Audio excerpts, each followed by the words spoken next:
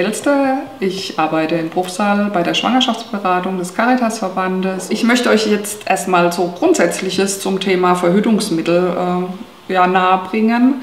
Ähm, zuallererst, die hormonellen Verhütungsmittel sind alle rezeptpflichtig. Das heißt, ihr müsst zu einem Frauarzt, zu einer Frauenärztin gehen, mit ihr das besprechen, welches Verhütungsmittel das Richtige für euch ist. Ähm, altersmäßig ist es so, dass in der Regel ab 16 ohne Einwilligung der Eltern verordnet wird und wenn ihr jünger seid, ähm, kann es schon sein, dass der Arzt sagt, er möchte ein Gespräch oder eine Einwilligung der Eltern haben oder eines Elternteils, aber die, der Arzt oder die Ärztin dürfe auch entscheiden, wenn, ihr, wenn sie sehen, okay, ihr wisst, was ihr tut, ähm, dass sie euch dann auch ein Rezept ausstellen dürfen. Also es ist sehr unterschiedlich, kann man nicht so generell sagen, ab welchem Alter. Was sicher ist, ist, dass man bis zum 22. Geburtstag die Verhütungsmittel kostenfrei bekommt. Allerdings muss man ab 18 eine Rezeptgebühr bezahlen, in der Regel 5 Euro. Und ähm, egal, was der Frauenarzt, die Frauenärztin mit euch entscheidet, bekommt ihr auch die teureren Verhütungsmittel bezahlt. Also es muss nicht nur die Pille sein. Äh, bei Privatversicherten ist es so, dass äh, da erstmal das Verhütungsmittel selber bezahlt werden muss und man es dann bei der Krankenkasse einreicht, bei der privaten. Und da ist es halt oft so, dass es, wenn ihr noch keine 18 seid oder auch wenn ihr 18 seid, es meistens natürlich auch über die Eltern läuft, weil die ja für euch die Versicherung abgeschlossen haben. Bei den anderen Versicherungen ist es eher so, ähm, ja, dass die Krankenkasse da ja keine Meldung macht. Ich möchte euch jetzt ein Verhütungsmittel für die Jungs vorstellen, aber auch für euch Mädels ist es interessant, weil nicht alle Jungs wissen, wie das richtig funktioniert. Also von daher solltet ihr auch darüber Bescheid wissen. Nicht ausschalten, dabei bleiben. Aber wie gesagt, das Kondom ist das einzige Verhütungsmittel, ähm, ja, das Jungs oder Männer anwenden können. Ähm, es gibt viele verschiedene äh, Kondomsorten und es gibt auch verschiedene Größen, da sage ich später noch was dazu. Wichtig ist nicht die Marke oder wie das aussieht und welche Farbe es hat, sondern dass es funktioniert. So, das ist das Wichtigste. Gerne darf man verschiedene auch mal ausprobieren. Und wenn ihr mal bei den Drogeriemärkten oder auch bei Aldi, Lidl oder sonst irgendwas, das ist keine Schleichwerbung, ihr guckt einfach, wo ihr einkaufen geht. Mittlerweile stehen die tatsächlich auch dort im äh, Angebot. Ähm, wie gesagt, es ist nicht wichtig, ob das eine bestimmte Marke ist, sondern dass es A, die richtige Größe ist und dass es einfach euch angenehm ist, die zu benutzen. Was man ein bisschen oder wo man ein bisschen drauf achten soll, ist, braucht ihr ein eher trockenes Kondom, weil das einfacher von der Handhabung ist und wollt ihr vielleicht dann noch ein Kleidmittel dazu benutzen, dann müsst ihr darauf achten, dass es auch eins ist, was kondomverträglich ist, also keine Cremes oder Vaseline benutzen, sondern sogenanntes Kleidgel. Weil Vaseline und Öle die Kondome aufweichen können und die dann tatsächlich ähm, dadurch reißen könnten. Genau. Ähm, wo ihr auch noch darauf achten müsst, ist, dass ähm, auf den Kondomen steht oder auf der Packung steht grundsätzlich ein Haltbarkeitsdatum. Ihr fragt euch, warum brauche ich das? Ja, da steht es drauf und ihr solltet auch darauf achten, dass die Kondome noch haltbar sind, weil Gummi dann halt irgendwann vielleicht sich ähm, ja auch zersetzen kann. Und was auch wichtig ist, dass es ein Kondom ist, was ein CE-Zeichen hat, weil das ist nämlich geprüft. Alle Kondome werden getestet und geprüft, deswegen ist es auch sehr unwahrscheinlich, dass es beschädigt ist, wenn ihr es richtig anwendet.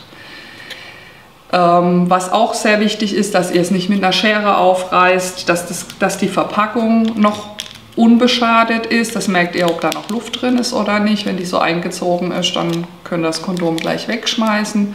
Dass ihr es nur einmal verwendet, auch ganz wichtig. Und dass ihr es richtig rum verwendet. Aber das zeige ich euch nachher noch. Wie gesagt, es ist nicht so, dass die Mädchen sich da jetzt äh, ausschalten können. Ich empfehle immer, wenn ihr sexuell aktiv werdet, auf jeden Fall immer ein Kondom dabei zu haben. Es schützt nämlich nicht nur vor einer Schwangerschaft, sondern es schützt auch vor Geschlechtskrankheiten. Egal, ob das jetzt AIDS, Syphilis oder ähm, andere übertragbare Geschlechtskrankheiten ist, das Kondom schützt davor. Ich möchte euch jetzt noch mal kurz äh, erklären, auf was man achten muss beim Kondom benutzen, beziehungsweise erstmal abchecken, welche Kondomgröße brauche ich. Und dafür gibt es ein sogenanntes Kondometer, das heißt wirklich so. Das legt man über den steifen Penis oder um den steifen Penis rum. Wickelt mal so rum. Könnt ihr daheim im stille Kämmerle testen.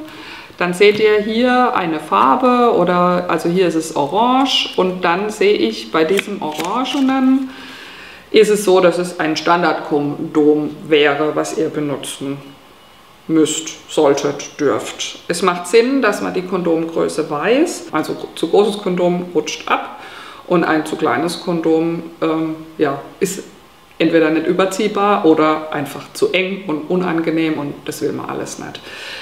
Die meisten äh, Jungs oder beziehungsweise Männer benutzen ein äh, Standardkondom, aber danach wisst ihr dann auch, was ihr zu benutzen habt. Vorhin habe ich schon erwähnt, äh, die richtige Anwendung. Das heißt, wenn ihr das Kondom in die Hand nehmt und geprüft habt, ah, da ist noch Luft drin, dann wisst ihr, dass es unbeschadet ist. Wichtig ist, dass es äh, aufgerissen wird und nicht mit einer Schere aufgeschnitten wird. Und wenn jemand sehr spitze Fingernägel hat oder gerade Mädels vielleicht ein bisschen lange Fingernägel, dann bitte schaut, dass ihr das so seitlich aufreißt und nicht mit den Fingernägeln da rumstochert. So, dann macht ihr die Packung auf. Dann lasst ihr das Kondom hier raus und dann müsst ihr schauen, dass es richtig rum aufgesetzt wird. Es kann natürlich passieren, dass es im Eifer des Gefechtes oder wenn es dunkel ist, dass man merkt, beim Überziehen, ich habe das falsch aufgesetzt. Das merkt ihr aber, also wenn man das jetzt einfach mal hier auf den kleinen Dildo hier, dann merkt ihr schon, ich habe es jetzt absichtlich falsch gemacht. Es geht nicht runter. So, dann schmeißt ihr das Kondom weg weil hier sind jetzt nämlich schon vielleicht von euch ein paar Tropfen von der Flüssigkeit, die ja der äh, Penis absondert, schon drauf. Und das sind die sogenannten Lusttropfen. Und in diesen Lusttropfen können schon Spermien drin sein. Das heißt, nochmal, ich zeige es euch jetzt. Ihr dreht es rum. Wo sind jetzt die Spermien? Wenn da schon welche drauf sind, die sind nämlich jetzt außen drauf. Ja? Wenn ihr das jetzt überzieht und ihr dann mit eurer Freundin schlaft, dann fördert ihr, befördert ihr die Spermien eurer Freundin in die Scheide und sie könnte trotz Kondom schwanger werden. Also ihr schmeißt dieses Teil, wenn ihr merkt, ihr habt es verkehrt rum draufgezogen, einfach weg. Das ist mal das Allerwichtigste. Ich würde jetzt das Kondom trotzdem benutzen, weil da sind ja keine Spermien drauf, weil es ist ein Gummiteil. Ja? Einfach, ähm, weil ich jetzt nicht nochmal eins aufmachen möchte. So, ihr nehmt es hier oben, Ihr guckt vorher, ah, das kann ich abrollen. Ihr setzt es auf den Penis drauf, ich hier auf den Billy Boy Dildo und rollt es runter. Ganz nach unten, so. Dann sitzt das Ding fest, es ist in Ordnung, es ist auch die richtige Größe, weil wir haben es vorher mit dem Kondometer benutzt oder ausgemessen. Ihr hattet jetzt Geschlechtsverkehr, was passiert dann? Dann gehen natürlich die Spermien hier in dieses äh, Ding rein. Es macht aber auch nichts, wenn das Pep drauf sitzt. Also deswegen könnt ihr trotzdem das benutzen, weil das ist sehr dehnfähig. Ihr hattet Geschlechtsverkehr, die Spermien sind hier drin. Irgendwann zieht ihr euren Penis raus und dann müsst ihr darauf achten, dass ihr, dass ihr den Kondom festhaltet. Nämlich hier unten bei, an euch mit zusammen mit eurem Penis rauszieht, dass das äh, Teil nicht, dass das Kondom nicht äh, in der Frau praktisch drin hängen bleibt oder verrutschen kann. Und dann ist es optimal, wenn ihr das Ding wieder abrollt. So. Die meisten machen einen Knoten rein, dass da auch nichts rauskommt. Ja. Wenn ich das jetzt hinkriege. So. Und dann schmeißt ihr das weg. Aber nicht in die Natur oder sonst irgendwo hin, sondern bitte in, in einen Behälter, wo es auch reingehört. Ja, ich finde nichts ekelhafteres, als irgendwo Kondome in der freien Natur zu finden, die auch noch gefüllt sind. Ja, das war's schon. Im Prinzip sieht es einfach aus. Ich empfehle euch, testet es mal oder die Mädels, probiert es mal aus. Ihr könnt auch eine Banane dazu nehmen und dann passt es auch und dann ist man vielleicht in der Situation, wenn es soweit ist und wenn man erregt ist und sich auch darauf freut, ähm, etwas geübter, wie wenn man das das erste Mal macht. Ich möchte euch jetzt die Pille vorstellen. Wie ihr seht, gibt es ganz viele verschiedene und die bestehen alle aus einer bestimmten Hormonzusammenstellung oder auch als, mit nur einem Hormon, das man die ganze Zeit nimmt. Die Pille wird als Tablette eingenommen und es gibt halt ganz viele verschiedene Möglichkeiten. Man nimmt die 21 Tage ein und macht dann sieben Tage Pause. In der Zeit wird dann auch die Regelblutung einsetzen, aber es gibt auch Pillen, die nimmt man ähm, 22 Tage und macht dann nur sechs Tage Pause. Und es gibt Pillen, die nimmt man 28 Tage durch, wobei dann meistens sechs oder sieben Tage eine wirkstofffreie Tablette mit dabei ist. Die Pille muss man regelmäßig einnehmen, da sage ich nachher gleich noch was dazu. Von der Wirkung her ist es so, dass auch hier, wie bei vielen anderen hormonellen Verhütungsmitteln, der Eisprung verhindert wird.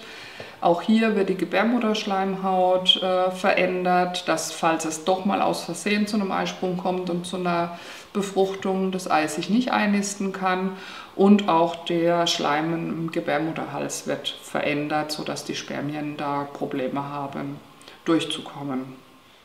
Was ganz wichtig ist, ähm, klar, es ist A, von Frauenarzt, Frauenärztin zu verordnen, mit der könnt ihr auch drüber reden oder mit dem Arzt könnt ihr drüber reden, welche Pille vielleicht die richtige für euch ist, weil wie gesagt, jede Pille wirkt ein bisschen anders. Man muss auch wissen, wenn man eine Pille gerade nicht verträgt, sollte man auf jeden Fall dem Arzt Bescheid geben, dass er nochmal was anderes versuchen kann. Ähm, wichtig ist, die muss regelmäßig eingenommen werden. Man darf nicht allzu lange Pausen haben. Man sollte sich eine Zeit festlegen, die für einen ganz gut ist, dass man auch weiß, okay, da bin ich relativ zuverlässig, dass ich die jeden Tag nehmen kann. Tipp ist immer Handy Nachricht, ähm, das praktisch als äh, ja, Bandklingelton ins Handy einzugeben, dass man das nicht vergisst. Vielleicht kann man das auch mit dem Partner besprechen, äh, der darf einen ja vielleicht auch mal dran erinnern. Was ist, wenn ich die Pille vergessen habe? Da ist es ganz wichtig, den Beipackzettel lesen, auch wenn der sehr ausführlich ist, aber es ist einfach so, dass jede Pille eine andere Möglichkeit oder Lösungsmöglichkeit hat je nachdem, wenn man eine vergessen hat. Ähm, was man noch beachten muss, ist es, dass es verschiedene Medikamente gibt, also andere Medikamente, die die Wirkung der Pille herabsetzen können. Was auf jeden Fall wichtig ist zu wissen, wenn man Antibiotika nimmt, dass man dann in der Zeit auf jeden Fall bis zur nächsten Regelblutung mit äh, Kondome verhütet, weil Antibiotika sind bekannt dafür, die Pillenwirkung herabzusetzen. Es gibt aber auch Antidepressiva, also wenn man Depressionen hat und da Medikamente nimmt. Ähm, ja, es gibt, äh, wenn man Durchfall hat, äh, ist es halt auch so, je nachdem, wenn man die Pille genommen hat und man hat Durchfall oder Erbrechen innerhalb der nächsten vier Stunden, ist es halt logischerweise so, dass die Pille dann mit rauskommt. Da sollte man auf jeden Fall auch in der Packung schauen, was tue ich da oder im Notfall auch mal einen Arzt anrufen oder die Ärztin anrufen. Mm, wenn jemand Paspertin kennt, das ist, wenn man Übelkeit hat und das Medikament einnimmt, wird es herabgesetzt und es kann auch bei entzündungshemmenden Schmerzmitteln ähm, passieren. Ich weiß, die Packungsbeilage ist sehr ausführlich, aber wenn man einfach Fragen hat dazu, darf man auch gerne in eine Apotheke gehen oder wie gesagt Arzt oder Ärztin fragen. Empfehle ich auch.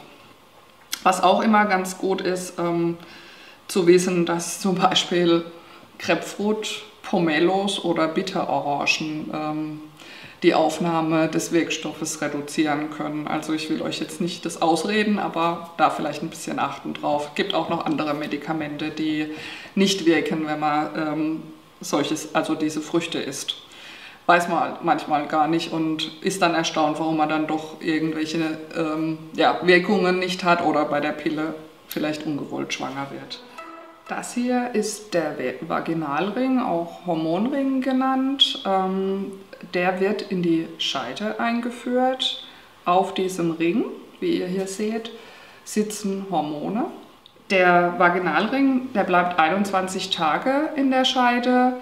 Nach 21 Tagen muss man ihn rausnehmen. Der bleibt dann sieben Tage draußen, also man macht sieben Tage Pause. In der Zeit beginnt dann die Regelblutung und dann muss man dran denken, dass man ihn genau nach sieben Tagen einen neuen Ring wieder einsetzt dass das Ganze wieder von vorne beginnt. Der Vaginalring wird von euch selber eingesetzt, jedes Mal wieder.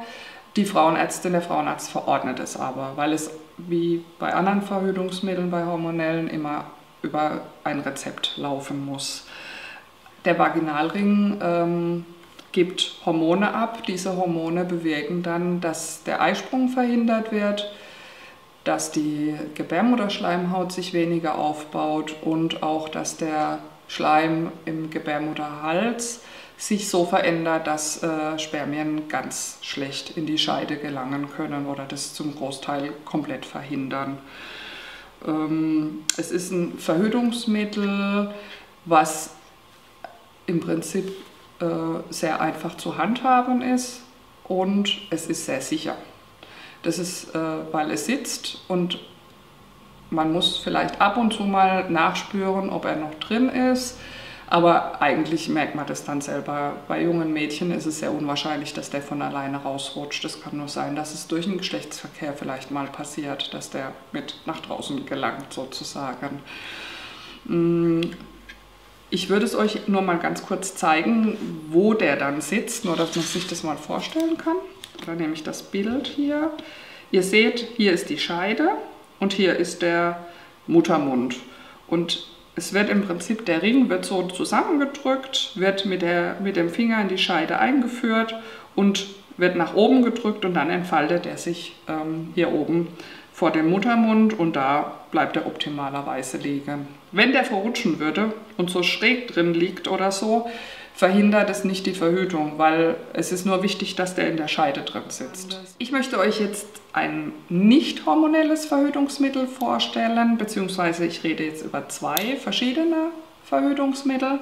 Und zwar ist es einmal die Kupferkette und die Kupferspirale. Vom Prinzip her, von der Anwendung her ist, sind beide ähm, gleich, allerdings sehen die unterschiedlich aus. Ich sage auch gleich am Anfang, die Kupferkette habe ich nicht zum Zeigen dabei. Die, sowohl die Kupferkette als auch die Kupferspirale werden beide grundsätzlich von einem Arzt, von einer Ärztin eingesetzt. Ähm, die kommen in die Gebärmutter rein, bleiben dort ungefähr drei bis fünf Jahre in der Gebärmutter und äh, verhindern äh, eine Schwangerschaft einfach durch die Abgabe dieses Kupfers. Was sie bewirkt, sie bewirkt, dass die Spermien nicht so beweglich äh, mehr sind. Das heißt, in der Regel kommen die gar nicht erst in die Gebärmutter rein. Und es verhindert auch, falls doch mal zufällig eine Spermie ein Ei findet bei euch, ähm, verhindert äh, diese Kupferzugabe in der Gebärmutter, dass ein Ei sich einnisten kann. Und äh, wenn die richtig liegt und alles optimal ist, ist die auch sehr sicher. Äh, ja, das ist eigentlich alles, was ich jetzt dazu sagen kann. Ich würde euch das nochmal ganz kurz zeigen, wie das dann aussieht, wenn die Kupferspirale in der Gebärmutter drin sitzt. Also ihr seht, hier ist, das hier ist die Gebärmutter, das ist die Scheide und das ist der Muttermund. Und da wird die Kupferspirale eingelegt. Und ihr seht hier dieses Teil. Und da ist praktisch hier an diesem Stäbchen ist diese Kupferspirale drauf. Und die Kette sieht, müsst ihr euch vorstellen, wie eine normale Kette mit lauter runden Kugeln drauf und die wird dann je nach Größe der Gebärmutter auch da reingelegt. Ich erzähle euch jetzt ein bisschen was zur Hormonspirale. Auf der Hormonspirale befinden sich Hormone, die dann über die Gebärmutter, wo auch die Spirale drin sitzt, äh, ja, ihre Wirkung zeigt. Die Hormonspirale muss grundsätzlich auch von einer Frauenärztin, von einem Frauenarzt eingesetzt werden. Das heißt, man muss vorher erstmal gemeinsam überlegen, ob das auch die erste Wahl für ein Verhütungsmittel ist. Und wenn ihr euch dafür entscheidet, wie gesagt, läuft das Einsetzen über Frauenarzt, Frauenärztin. Die Hormonspirale gibt es in verschiedenen Größen und seit einiger Zeit tatsächlich auch für jüngere Mädchen äh, können das auch schon vor der Geburt des ersten Kindes sich einsetzen lassen. Drinbleiben können die drei bis fünf Jahre, je nach Spirale. Das kommt natürlich auch auf die Art der Spirale drauf an. Was passiert? Die Hormone verändern die Gebärmutterschleimhaut. Meistens bleibt der Eisprung erhalten, das heißt die natürlichen Abläufe im Körper laufen weiter ab sozusagen. Aber dadurch, dass die Schleimhaut verändert wird bzw. sich gar nicht mehr aufbaut, könnte theoretisch ein äh, Ei sich da auch gar nicht mehr einnisten. Nicht nur theoretisch, sondern praktisch auch nicht. Und was aber auch verhindert wird, ist, dass der Gebärmutterhals, äh, die Schleimhaut da sich so verändert, dass meistens keine Spermien mehr in die Gebärmutter reinkommen können. Das heißt, es kann gar kein Ei befruchtet werden, weil keine Spermien drin sind. Die ist sehr sicher, hat eine von den höchsten Sicherheitsstufen oder Pearl-Indexe, die es bei den hormonellen Verhütungsmitteln gibt. Ähm, und hat auch eine geringere Hormonabgabe als andere hormonelle Verhütungsmittel. Man hat eine schwächere bis gar keine Regelblutung mehr, was für manche nicht so vorteilhaft ist, weil sie einfach ihre Abläufe gern spüren wollen. Das muss man einfach vorher wissen. Und hat aber auch äh, oft weniger Regelbeschwerden. Also wenn man das so mit dem Frauarzt bespricht und ich sage, ja, das ist ein gutes Verhütungsmittel für dich, dann kann man sich das tatsächlich überlegen. Ähm, wie gesagt, Bezahlt wird es, wenn man noch keine 22 ist, weil das Einlegen kostet natürlich einiges, aber wird dann auch von der Krankenkasse bezahlt, wenn es der Arzt so verordnet. Ihr seht hier ähm, eure Gebärmutter und das hier ist diese Hormonspirale. Hier sitzt die Kupferspirale drin, die denkt ihr euch jetzt einfach mal weg und genau da kommt dann auch diese Hormonspirale rein. Ja? Also im Prinzip ist es ähnliche Optik, aber auf dem kleinen Stäbchen hier, da sitzen die Hormone drauf. Ja, jetzt stelle ich euch das Verhütungspflaster vor. Wie der Name schon sagt, ist das ein ganz normales Pflaster, sieht auch so aus. Ich zeige es euch nachher auch noch. Ähm, von der Wirkung her, auch da sitzen Hormone drauf und ihr werdet euch vielleicht wundern, wieso Pflaster, wieso auf die Haut. Durch die Haut können die Hormone in den Körper äh, gelangen und werden dann im Prinzip mit dem Blut weiter transportiert und bewirken dann im Prinzip auch dasselbe wie alle anderen hormonellen Verhütungsmittel. Ähm, ihr müsst es so anwenden, dass die Haut vorher nicht eingecremt ist und trocken und sauber ist. Und dann wird es jeweils eine Woche lang aufgeklebt, das Ganze dreimal hintereinander und dann wird eine Woche Pause gemacht. In dieser Woche setzt die Regel ein. Und dann muss man daran denken, dass man es nach genau einer Woche oder nach sieben Tagen ganz genau äh, wieder das nächste Pflaster aufkleben muss und dann wiederholt sich das immer wieder. Ähm, sollte es tatsächlich mal abgegangen sein, äh, normalerweise bleibt es beim Duschen und auch wenn man schwimmen geht, äh, auf der Haut kleben, aber manchmal kann es halt mal passieren dann muss man schauen, dass es äh, spätestens nach 24 Stunden wieder aufgeklebt ist. Ähm, also dann halt ein neues. Das alte klebt in der Regel eigentlich dann nicht mehr. Das Verhütungspflaster verhindert den Eisprung und da äh, wird ebenfalls die Gebärmutterschleimhaut verändert, dass sich falls es doch mal zu einem Eisprung kommen sollte und zu einer Befruchtung das Ei gar nicht erst einnisten kann. Zur weiteren Sicherheit wird der Schleim ähm, vom Gebärmutterschleimhals auch äh, verändert. Genau. Damit die Spermien da nicht durchkommen können. Bei korrekter Anwendung ist es auch ein sehr sicheres Verhütungsmittel und wie bei allen hormonellen Verhütungsmitteln muss man das mit dem Arzt besprechen, mit der Ärztin besprechen und auch ein Rezept sich dafür ausstellen lassen. Ich zeige euch jetzt noch mal kurz das Pflaster, damit ihr euch vorstellen könnt, wie groß das ist. Also ihr seht, das hier sieht aus wie ein ganz normales Pflaster, ist hautfarben. Ähm, ja, und man sollte es natürlich an eine Stelle aufkleben, die nicht so strapaziert wird. Also auf jeden Fall nicht in die Kniekehle und nicht in die Armbeuge. Aber ansonsten ist es eigentlich egal, wo man das hinklebt. Ich stelle euch jetzt die 3-Monats-Spritze vor. Die 3-Monats-Spritze ist ein hormonelles Verhütungsmittel ähm, und wird, wie der Name schon sagt, gespritzt. Äh, die Spritze wirkt drei Monate lang, auch das sagt der Name. Ähm, auch wieder wird vom Arzt injiziert und auch vom Arzt äh, verordnet. Ähm, der Eisprung wird dadurch verhindert. Außerdem wird die Gebärmutterschleimhaut ähm, nicht so stark aufgebaut und auch der Schleim im, Gebärmuttermund äh, verändert sich, sodass die Spermien da nicht so richtig durchkommen können. Man muss dazu sagen, dass sie hm, einige Nebenwirkungen hat, aber das muss immer mit dem Arzt oder mit der Ärztin besprochen werden. Und es ist halt eine Verhütungsmethode, wo ihr sehr sicher sein könnt und auch ähm, ja, zuverlässig, weil im Prinzip können keine Fehler passieren, weil ihr sie vergessen habt oder so. Aber wie gesagt, immer eine Entscheidung mit dem Arzt zusammen und da muss man das auch abwägen, ob die Nebenwirkungen und äh, der Nutzen, ja, wie, was da überwiegt. So, jetzt zeige ich euch das Hormonstäbchen. Wie auch wieder der Name sagt, da sind Hormone drauf. Das Hormonstäbchen ähm, bewirkt auch wieder, dass der Eisprung unterdrückt wird, dass die Schleimhaut sich in der Gebärmutter weniger aufbaut oder gar nicht aufbaut und auch, dass der Schleim im Gebärmutterhals äh, sich verändert, dass die Spermien nicht durchpassen. Wenn ihr euch fragt, wie wird es angewandt, es wird nicht geschluckt, sondern es wird äh, von der Frauenärztin hier in die Armbeuge eingesetzt. Ähm, mit einer ganz dünnen Spritze, mit einer Kanüle. Die Frauenärztin, die uns das mal erklärt hat, hat gesagt, sie hat es an sich selber getestet, weil, das, weil sie das niemand anders empfehlen will, wenn sie das nicht selber weiß, wie das funktioniert. Und sie hat gesagt, es ist wirklich nur ein Piekst wie bei einer Impfung.